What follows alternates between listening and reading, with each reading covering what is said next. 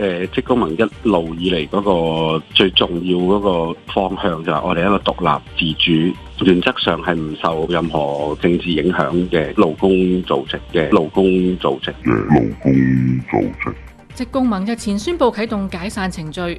職工盟主席王乃元周一喺電台節目上面仍然大講歪理，聲稱成員受到人身安全威脅，被指係外國代理人，係俾人抹黑咁話。不過隨即被工聯會理事長黃國嚴正駁斥。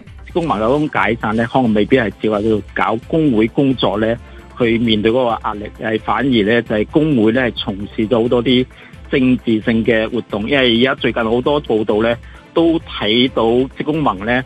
係同國際嗰個政治有一個密切嘅聯繫。另外咧，特別就係收受咧好大額嘅捐款，從事好多非法嘅政治活動。當然呢啲咧有啲咧仲要進一步咧去警方嘅調查啦。譬如好簡單啫，就話發動三罷，好多人因為嗰個罷工去堵路啊，最終都被咗判刑嘅。另一方面咧，搞工會裏面咧又觸犯咗啲國安法嘅時候咧。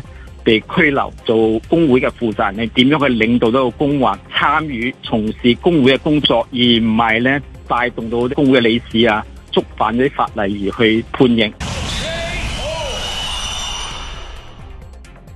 黄乃元又涉嫌懶巴閉咁話，指職工民解散之後，將有逾千培訓學員受到影響。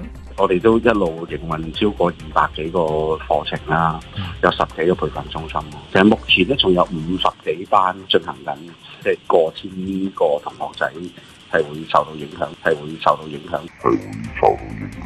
按照而家整個嘅市場嚟講咧，大家一齊去合作去做嘅話咧，都解決到。當然啦，可能未必係即時，俾一段嘅時間咧都可以做到嘅。職工盟宣布要有一個解散之後咧，明朗化之後咧，下一步咧。